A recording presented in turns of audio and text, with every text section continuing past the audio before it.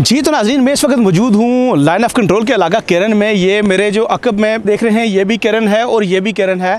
तकसीम कश्मीर से पहले ये दोनों इलाके एक ही हुआ करते थे और ये सामने इलाके जो आपको घर, खूबसूरत घर नज़र आ रहे हैं, ये भी केरन सेक्टर में है और पुराने घर हैं, खूबसूरत घर हैं। यहाँ कल्चर जो है सेम है।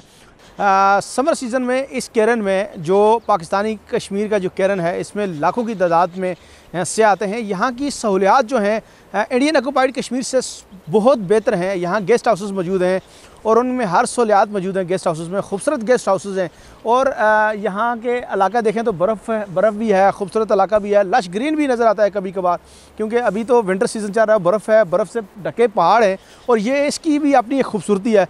हम सिर्फ़ इस पर ही अल्लाह का शुक्र अदा नहीं कर सकते कि हम आज़ाद कश्मीर में रहने वाले लोग, आज़ाद फ़ज़ाओं में सांस लेने के साथ अपनी मर्ज़ी से अपने इलाके में घूम फिर सकते हैं। ग़ुलामी की ज़िंदगी अगर सोने चांदी के महलों में भी हो तो उस ज़िंदगी का कोई मज़ा नहीं। अगर सहूलियात की बात की जाए तो आज़ाद कश्मीर में तमीर और तरक्की जम्मू कश्मीर से कहीं ज़्यादा है। आज़ाद कश्मीर में बेहतरीन सहूलियात के साथ सैकड़ों की तादाद में गेस्ट हाउस भी मौजूद हैं जो 80 फ़ीसद से ज़्यादा लोकल लोगों के हैं। आ, ये बिल्कुल लाइन ऑफ़ कंट्रोल के करीब में वाक़ है। ये सामने जो घर नज़र आ रहे हैं ये फ्लैग नज़र आ रहा है इंडियन कश्मीर का है। और इस तरफ़ में बैक साइड पे देखें तो ये पूरा रास्ता है। एक जो श्रीनगर से होता हुआ यहाँ केरन सेक्टर में आता है। और ख़ूबसूरत इलाका है ये केरन सेक्टर का। हाँ इंडियन ऑक्यूपाइड कश्मीर का। और हम इस पार बैठे हैं। अब हमने इसको जूम करके बनाए हैं। ये देख लें अंदाज़ा कर लें। और हम जिस जगह पे हैं पाकिस्तानी साइड कश्मीर जो है उसमें हम बैठे हुए हैं।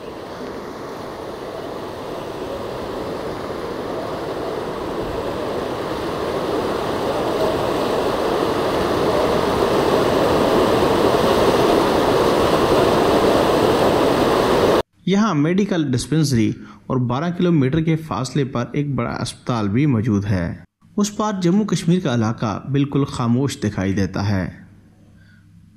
ना तो रोड की कोई सूरत हाल है और ना ही तमीर और तरक्की।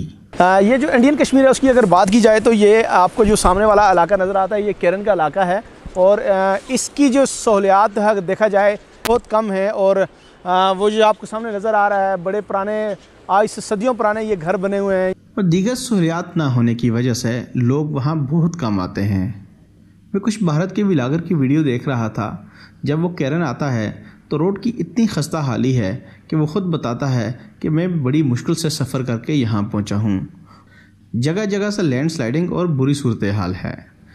उसी के मुकाबले में अगर आज़ाद कश्मीर की बात की जाए तो यहाँ का रोड इंफ्रास्ट्रक्चर बहुत अच्छा है।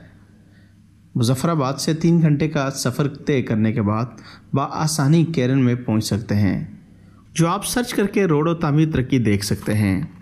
हाँ जी तो ये जो जगह नज़र आ रही है आपको, भारत के ज़ेर इंतज़ाम कश्मीर है, जम्मू कश्मीर का इलाका है, ये सामने केरन सेक्टर है। इसमें ये जो आपको दिखा रहा हूँ, ये सारा इलाका जो केरन सेक्टर का है, वो इलाका है। अगर मुआजना करें महँगाई का तो भारत में ज़्यादा महँगाई है। सिर्फ़ एक पेट्रोल की बात की जाए, क्योंकि पेट्रोल को लेके आजकल हर चीज़ पे बेस हो रही है।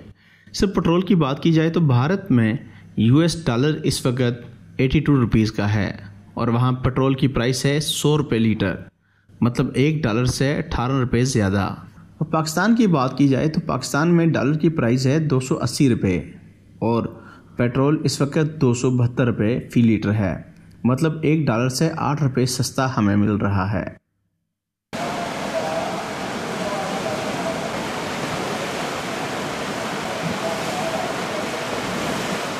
इसके उस पार जो कश्मीरी रहते हैं, वो भी मुसलमान हैं। इस पार जो रहते हैं, वो भी मुसलमान हैं। लेकिन जो आना जाना इनका नहीं आपस में, एक दूसरे के, एक दूसरे के रिश्तेदार हैं, दुख, दर्द में शरीक हो नहीं सकते। बड़ा एक दर्दनाक एक स्टोरी है। ये जो देखें अब मैं जिस जगह खड़ा हूँ, ये केरन का इलाका है। और देख लें, इससे अंदाज़ा कर लें कि हम कितने दूर बैठे हुए हैं और इसको जूम करके हमने इस मस्जिद को लिया है। और ये दरिया के इस पार हम हैं। और सेंटर में जो है ये हमारी ये जो लाइन है खूनी लकीर की लाइन ये दरिया है।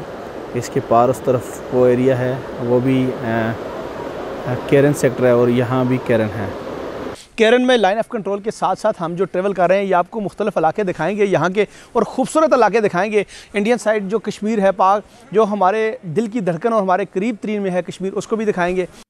एक उम्मीद के साथ हम आज भी इंतज़ार में हैं कि एक दिन होगा, भारत जो नाजायज़ काबज़ है मेरे कश्मीर पे, वो भी आज़ाद होगा। हम लोग वहाँ जाएँगे, अपने उस पार के कश्मीरियों से मिलेंगे और अपने प्यारों के दुख दर्द में भी शरीक होंगे। सलामत रहे हमारा वतन, इस उम्मीद के साथ इजाज़त चाहते हैं अला ने के बाद